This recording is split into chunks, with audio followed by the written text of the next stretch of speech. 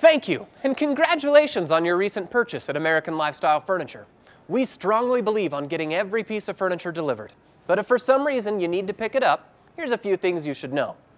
Dock hours will vary from store to store, so check with your salesperson to determine the best time to receive your merchandise. Almost every piece of furniture is going to require at least a little assembly. This could be as simple as putting the handles on your dresser, or as complex as putting together a bunk bed. Packaging is going to vary from each manufacturer, and there's going to be a lot of it. So check everything for any hardware or pieces before you throw it out. Sometimes these are attached to the packaging itself. Other times they're stored within the product itself. Open all those doors and drawers and check underneath if you think you've missed anything.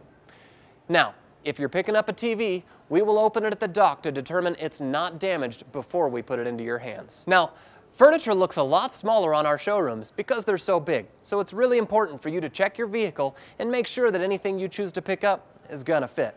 If you have a truck or a flatbed, we insist on securing it to keep it from flying or falling out. For all other types of vehicles, we insist on putting the furniture inside and not strapped on top. We're not responsible for any damages to the vehicle or the merchandise due to rubbing, stuffing, or overloading of the vehicle. Now, we also reserve the right to refuse the release of merchandise if we determine it might be transported in an unsafe manner. If you have any concerns, check with your salesperson. We have a rental truck you can rent for a great value.